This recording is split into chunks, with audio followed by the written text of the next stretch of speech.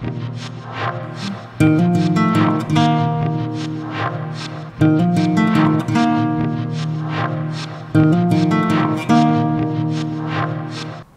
Merhaba sevgili yengeçler. Bugün 29 Haziran Cumartesi Satürn günündeyiz.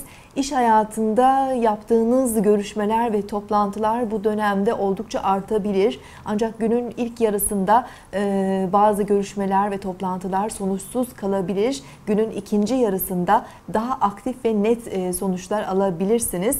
E, bazı görüşmelere katılmak için de şehir içi veya şehir dışı seyahatler yapmanız söz konusu olabilir.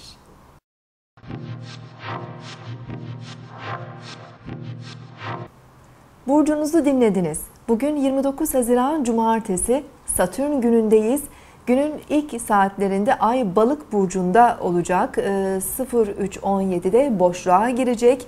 Ee, bu saatlerde özellikle sabahın da ilk saatlerinde zihinsel olarak biraz daha içe dönük ve duygusal davranabiliriz.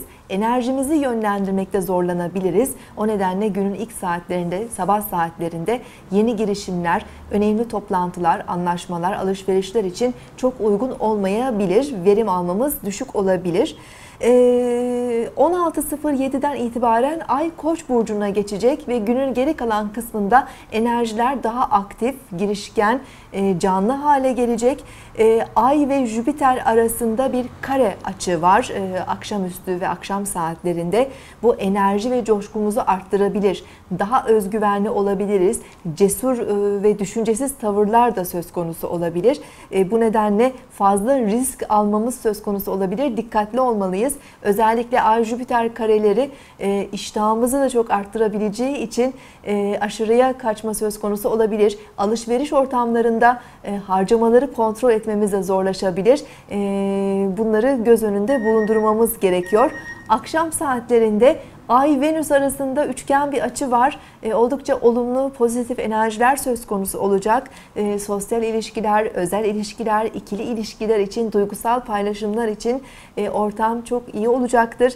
E, bunun yanı sıra eğlenceli faaliyetler, sanatsal çalışmalar, e, güzellik, bakım, estetikle ilgili çalışmalar için de akşam saatlerinde enerjiler çok uygun olacak. Yarın tekrar görüşmek üzere. Hoşçakalın.